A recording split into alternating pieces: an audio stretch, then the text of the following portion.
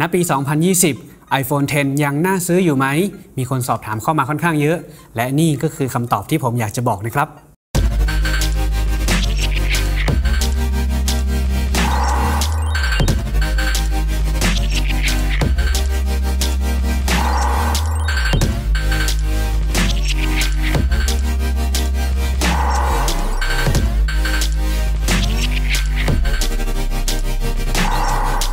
หลังจากที่ได้ปล่อยคลิปแนะนำว่าในปี 2020 นั้นมี iPhone รุ่นไหนที่น่าซื้อ แล้วก็ iPhone รุ่นไหนที่เราไม่ควรที่จะซื้อนะครับ แล้วก็มีคำถามสอบถามเข้ามาว่า แล้วทำไมไม่มีการพูดถึง iPhone 10 บ้าง และก็สอบถามเพิ่มเติมว่า แล้ว iPhone 10 นี้ยังน่าใช้อยู่ไหม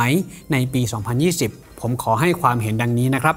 ถามว่า iPhone 10 ยังน่าใช้ไหมในปี 2020 ก็ต้องบอกว่ายังน่าใช้อยู่ แต่ถามว่าน่าซื้อหรือเปล่า ต้องบอกอย่างนี้ครับว่า มันยังมีรุ่นที่น่าซื้อมากกว่า iPhone 10 ซึ่งเราควรจะไปมองรุ่นนั้นมากกว่านะครับสำหรับ iPhone 10 นั้นเปิดตัวไปเมื่อปี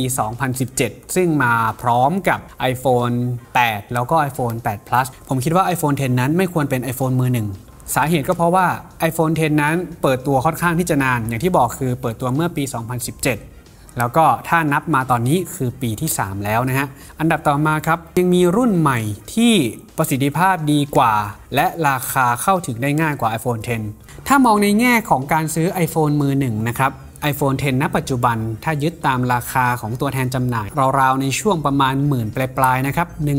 19,900 บาท ราวๆ นี้ครับ แต่ว่าถ้าเราดูในฝั่งของ iPhone 10R จากทางฝั่งของ Apple เอง ราคาจะสตาร์ทอยู่ที่ 21,900 บาท คือราคาสูงกว่าประมาณแค่ 2,000 บาท แล้วก็ iPhone 11 นั้น ราคาจะอยู่ที่ 24,900 บาท ก็คือจะแพงขึ้นมาอีก step หนึ่งนะครับ iPhone 11 อาจจะไกลตัวไปนะครับ แต่ว่า iPhone 10R นั้น ถ้าไปเปรียบเทียบกับ iPhone 10 ในแง่ของราคานั้นจะมีความใกล้เคียงกันมากกว่า ดังนั้นถ้าเราอยากจะได้รูปทรงของ iPhone 10 แบบไม่มีปุ่ม Home และมาพร้อมระบบสแกนใบหน้าแบบ Face ID นะครับดังนั้นรุ่นที่เรายังสามารถเลือกได้อีกนั่นก็คือ iPhone 10R แล้วก็ iPhone 11 นะครับ เอาล่ะทำไมผมถึงเชียร์ iPhone 10R มากกว่า iPhone 10 อย่างแรกครับ iPhone 10R สดกว่า ใหม่กว่า แรงกว่า แบตเตอรี่ได้เยอะกว่า ส่วนจุดที่ด้อยกว่าในเรื่องของหน้าจอที่ไม่ใช่หน้าจอ OLED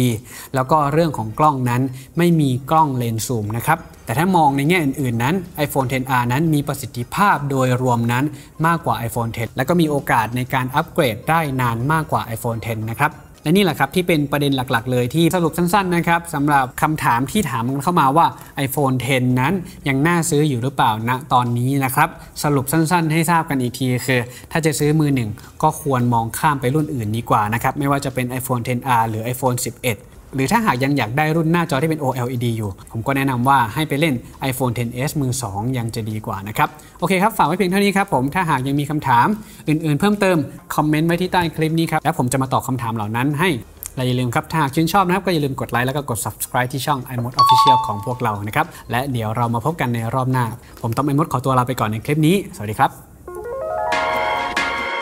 Let's go.